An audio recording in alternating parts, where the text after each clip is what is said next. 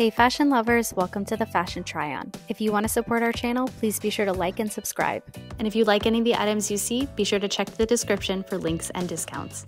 Today we're continuing our search for the best small leather good or SLG coin card pouch. Today we are trying out the Louis Vuitton card holder Recto Verso in Damier Ebene, the brown color. Now this also comes in a monogram imprint color in black as well as a monogram. Now, the criteria for this search is that we can find the smallest but most functional small leather good or coin pouch. I've ordered quite a few on Louis Vuitton to give them a try and want to share the exact unboxing with you. Now, as you may have seen in the other unboxing of these small leather goods, when you check out at Louis Vuitton, you can ask to include a bag and some gift options. They actually didn't include those with this order, so I was a little surprised, but if you wanna see how that option would arrive, be sure to check out one of those videos. Now, unboxing this card holder for the first time, I have to say I was a little underwhelmed and a little let down. Now, let me explain what I mean.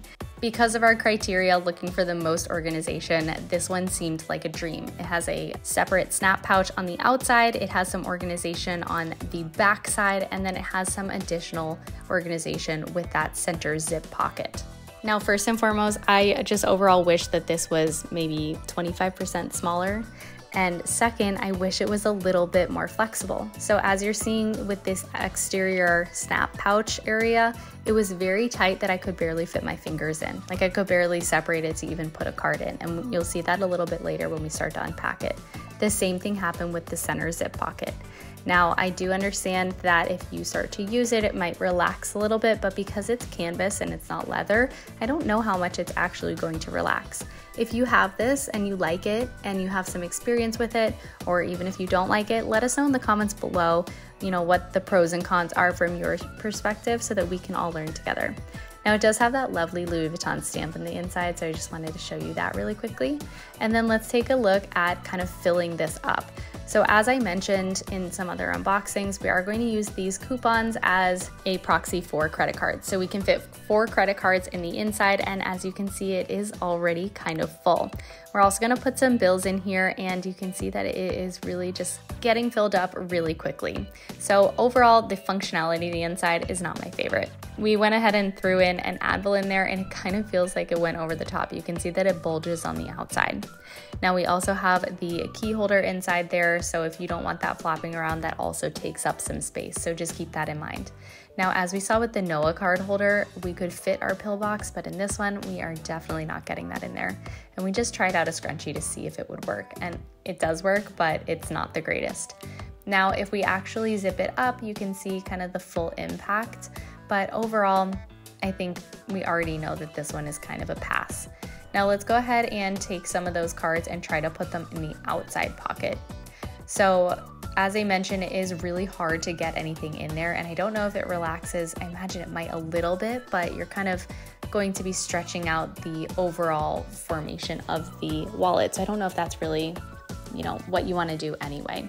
So I could fit a card in kind of one at a time and two is all I really felt comfortable putting in there. So I don't really know what you would put in that front pocket if you can't really fit anything.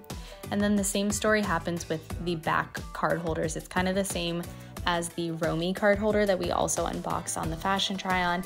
So be sure to check that one out as well. Overall, not really my favorite thing to have these external card holders. I thought that it would be really nice and really, you know, organizational and optimized, but it just added volume and honestly like a little bit of disorganization and stress. So if that sounds like something that you would experience given what I'm explaining, be sure to avoid this one and the Romy as well. Now, per usual, we are going to test out packing up our new 2024 Alma and we are going to throw in all of the essentials and maybe some unessentials, but we just want to see how much we can fit in here along with our card holder. Now, as you saw in the other unboxings, the other card holders fit in a lot more comfortably. This one still fits, but it is a larger piece, so it is going to take up more space. If you made it to the end of the video, be sure to drop an emoji in the comments below. Thanks so much for watching and be sure to subscribe.